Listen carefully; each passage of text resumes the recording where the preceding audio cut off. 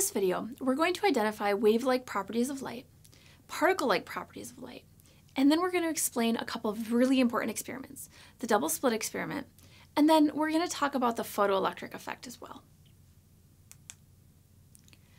First, let's talk a little bit of history again. Throughout human history, there have been a lot of debates on the exact nature of what light is. As far back as 400 BC, people were debating about whether light was a wave or a particle. And as each step of history occurred and more and more scientific knowledge was developed, the debate continued on. So there's many more players in this game than just what's listed here, and the history of how each one came to decide what they thought um, is quite interesting, but we won't cover each one. We're going to move up to where we start talking about experiments that actually determine the wave and particle-like properties. Now, throughout all of this, once Einstein came along, he kind of solved the debate for what, at least for now, appears to be good. He said that it has both wave and particle-like properties, saying it's not one or the other, but rather both.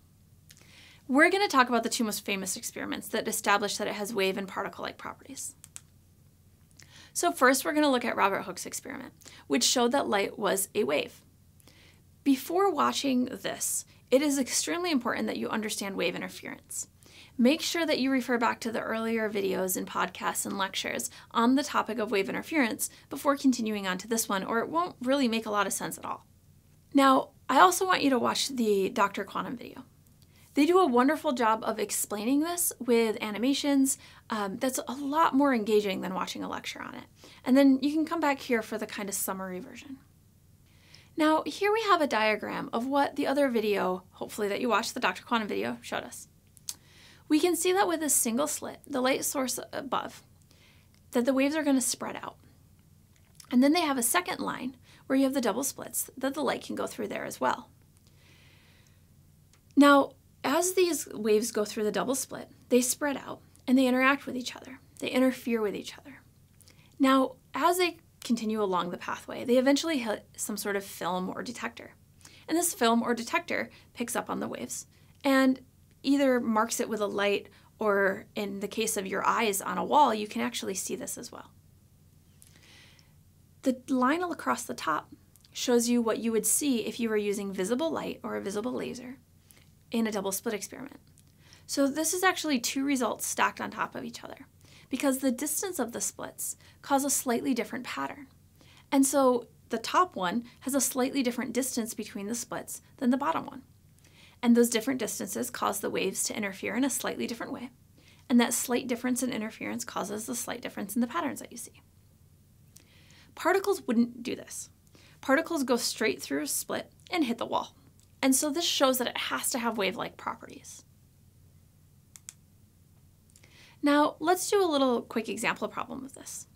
It should be pretty simple if you've watched and understood the Dr. Quantum video, but I think it's useful to see the type of questions that I can ask on it. If you're still having a rough time, I would actually suggest going back to that video and rewatching it again. Now, take a minute and read the question, and then commit to an answer. Write it down before pressing play. Now here we're asking what happens if you send an electron one at a time through the double splits. So I give you three options. I say that it goes through one or the other, and it behaves like a particle, and you just get a line through one or the other. I also say that it picks one, and even if you send one electron and you wait a few seconds and you send another and you wait a few seconds and you send another, the electron's always going to pick the same split, and you just get one line behind it. And then I also gave you the option of you have the electron, even though you send it one at a time, you still get an interference pattern. So hopefully you picked that you still get the interference pattern. And this might seem a little strange because if you're sending one electron through at a time, you wouldn't think that it could interfere with itself. And yet it does. And this has to do with the fact that it behaves like a wave. Because even if you're only sending one electron through, that electron is going to effectively go through both slits and then interact with itself. And there's different explanations for how this could work. Um, and we're still looking into this, and there's still scientists doing research on this even today. But that's what happens. Now, what Young's initial experiment doesn't show us is the idea that it also has particle-like properties. There have since been um, expansions on Young's experiment that do show us the particle-like properties, but we're not going to go into that too much. Now, because of the structure of the experiment that Einstein did, we are able to see these properties. Because of the structure that Young did, we could not see the properties. So this doesn't mean that Young was wrong. It doesn't mean that his experiment was invalid. It just means that it was only testing for wave-like properties, so we only saw wave-like properties.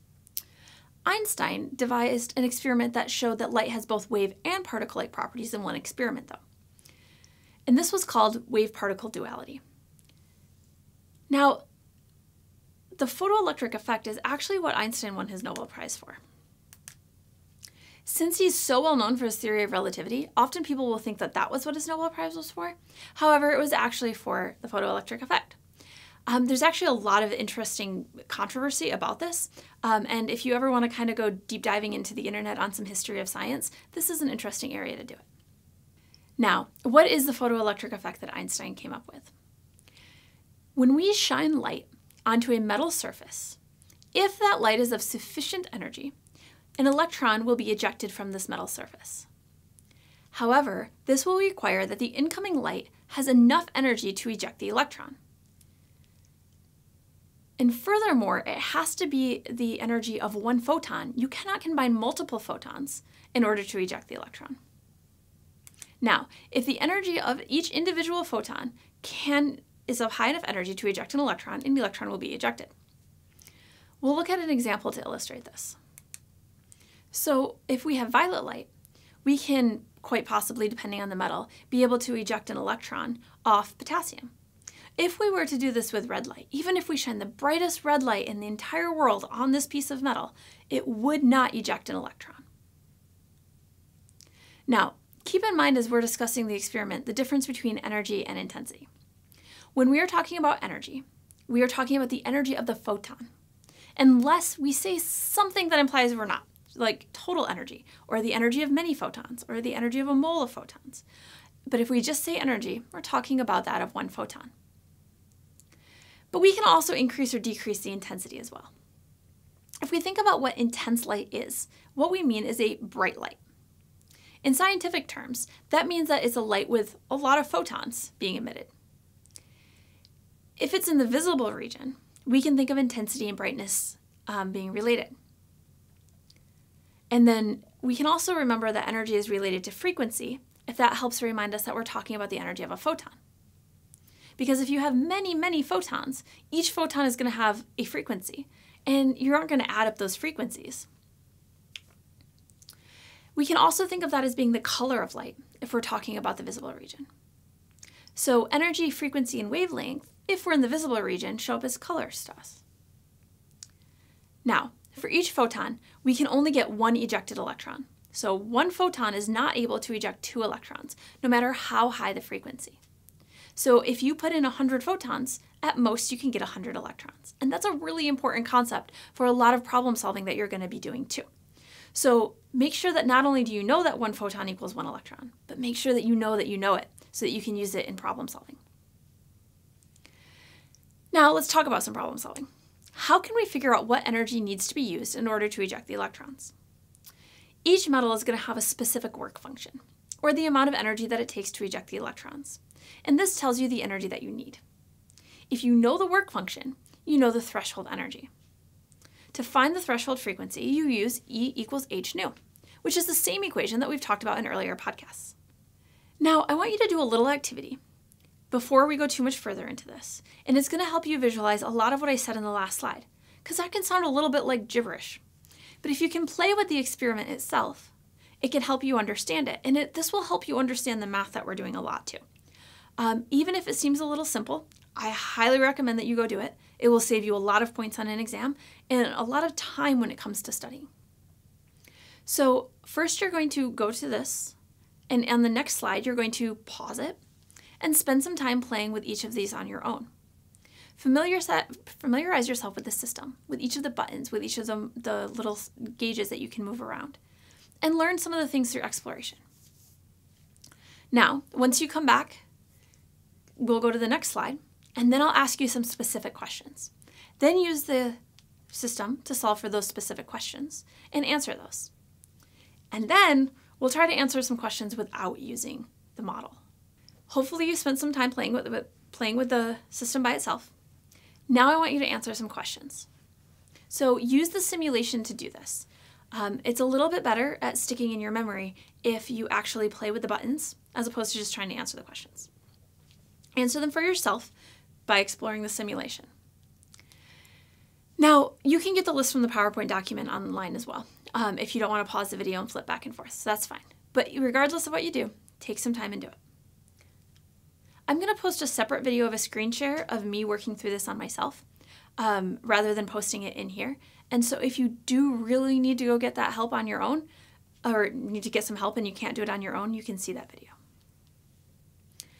Now, let's do some individual examples without using simulation. But these examples aren't going to make a lot of sense if you haven't taken the time to look at the simulation, so please do that.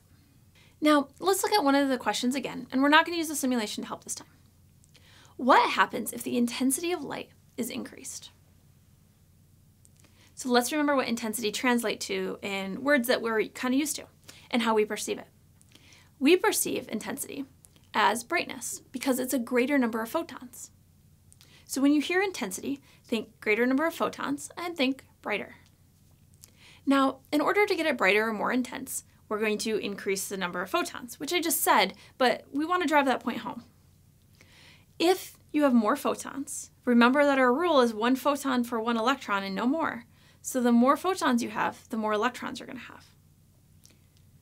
Now, there is an important caveat here. I didn't say anything about the frequency. So we do need to make a note of whether we're above or below the threshold frequency.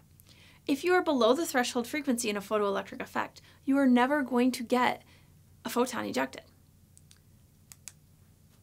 Now, if you are at the threshold frequency or above it, the more you increase the intensity, the more photons that are going to come off. And so this is sort of a two-part question. Below the frequency, nothing's going to happen. Above the threshold frequency, you'll get more and more photons as you increase the intensity. So let's look at another one of these questions without the simulation to help. What if the intensity of light is kept the same, but the frequency is increased? In this case, because intensity is going to be kept the same, we are inputting the same number of photons. It's just that each photon has a higher energy, or if you want to think of it like this, a higher frequency. This higher energy is going to be transferred to the electron in the form of kinetic energy or velocity, if you would prefer to think of it in terms of the speed. So if we are already above the threshold frequency and we're already ejecting electrons, those electrons are now going to be ejected at a higher velocity or kinetic energy. Notice I didn't say rate because that would almost imply maybe what we were talking about on the last slide. So try to be clear with your language and say a higher kinetic energy or velocity. Now, if we're below the threshold, initially nothing's going to happen. As you increase and increase and increase the frequency, eventually you'll hit the threshold and electrons will start to be ejected. And then if you keep increasing, it will again increase the kinetic energy or the velocity. This is the main ideas behind the photoelectric effect and the main concepts. I want to add on um, one little thing that we can do um, that's really helpful with this. We can actually make a very easy to read graph out of the photoelectric effect as well. And from this, we can get an equation that we're going to solve a lot of our photoelectric effect problems with. And I think that if you can see the graph, it will make actually turning this into um, the mathematics a little bit easier. So let's look at this equation. I have energy, and I have a little k underneath, and that's to show us that it's the kinetic energy of the electrons. So we want to be really clear in this chapter about which energies we're talking about. So we have the kinetic energy is equal to h nu. Now we know that h nu is also the energy of light. So the kinetic energy is equal to the energy of light minus phi. And I haven't introduced phi yet, but phi and the work function and W are all used interchangeably for this. So if we think about what this equation says, it says that the kinetic energy of the ejected electrons is the energy of the light that we initially put in minus the energy that it takes to eject it from the metal. And that makes a lot of sense. If we were to think about it a slightly different way, it would be that the energy of the electron and the energy of the energy the energy that it took to remove the electron is equal to the energy that we put in. So it's kind of just a restatement of the conservation of energy. Okay, so now if we look at this equation and just put it in terms of variables, if we were to put y, if we were to put the kinetic energy on our y-axis, and we were to put the frequency of light on our x-axis, we would have a linear graph. We'd have y equals mx plus b, where m, or the slope, is equal to h, and the intercept, or the b, is equal to the work function. Now we can't have a negative for this particular thing, and so that's why you see here at the bottom it just goes to zero. But you can also see what would happen if you extend it out on the little inset in the graph, and that it would eventually cross at negative work function. So before the threshold frequency, no kinetic energy is present. That's why we have the line at zero. After the threshold frequency, the relationship is linear. Now let's do an example problem using this equation that we have and using all the concepts we know about energy, wavelength, and frequency. Take a second and read the problem. And we're going to make a plan. So here I give you the work function for calcium, and I ask you what the minimum frequency of light required to eject the electrons is. So in other words, I'm asking you for the threshold frequency. For this, we're going to need to use the equation from the previous slide. Now, this is going to be a two-step problem. So first, we're going to find the threshold frequency. That's the first part. And then we're going to find the kinetic energy and the velocity at a different frequency of light. So we're going to use what we find in A to solve for part B. And this is a very stereotypical problem for this chapter, so please make sure that you can replicate this idea on your own. So first let's lay out a plan and work on our problem solving skills. For part one, we have an equation that relates the work function to the kinetic energy. Notice here that I switched the notations. So I've been trying to switch back and forth between work and phi because different sources are going to give you different symbols and you should know both. Now, we can use this to give us the minimum frequency of light that will eject from calcium. For the second part, we want to know the kinetic energy of the ejected electron. And we know our frequency. And we'll be able to plug that in once we get it from part A. So now that we have a plan, let's work through this with numbers. We must first find the threshold frequency. This is when the electron will be knocked loose, but no kinetic energy will be transferred. Since the kinetic energy equals zero, we can rearrange our equation so that h nu is equal to the work function. Once we get that, we can solve for frequency. And this is going to give us our minimum frequency of light that will eject an electron from calcium. This step, where we set kinetic energy to zero, is very, very important that you recognize. This is something that you must remember, and you must remember it well enough to be able to use it, or you must know that you know it, so that you can use it whenever you're solving these sorts of problems. So remember whenever you're at the threshold frequency, or the threshold energy, that you can say that the kinetic energy of the electrons are going to be zero and use this step. So try to learn this concept rather than just memorizing it because if you memorize it, you're more likely to forget it and you're less likely to be able to pull it into your problem solving. So what I mean by that is understand that the reason that the kinetic energy and the velocity are zero at the threshold frequency is because the incident light, or the light that we're shining, only has enough energy to knock the electron free but it doesn't have any excess energy that can give it extra velocity. So now that we have this, we can move on to the second part. We want to know the kinetic energy of the ejected electron at this new velocity, or this new frequency. So we solve for E by filling in our frequency that was given and our work function. Once we know the kinetic energy, we can fill into 1 half mv squared to solve for the velocity. To do this, we'll have to fill in our mass. But that mass is known because it's for an electron. So remember when we're talking about kinetic energy, that we're talking about the mass of an electron. And so that is a known value, and when you're taking an exam, it'll be on the exam. From here, all we have to do is calculate our value, and we get our velocity. We'll check our units, and we'll check our significant figures, and everything looks okay. So let's summarize what we've learned today. We started out by talking about a large amount of controversy through history about what light really was. We discussed two experiments that showed that wave particle duality of light. And something that I'd like to just add to this that we're going to talk about more later is that this is also true of very small matter. So it's true of both light and small matter, and we'll talk about all of that in future podcasts. We talked about the double slit experiment, which showed just the wave-like pro properties of light at the time that it was done. And then we showed the photoelectric effect and how it showed us both the wave-particle duality of light. And then we did several calculations and we drew some graphs and all of that you need to make sure that you know for the exams as well by doing lots and lots of practice problems.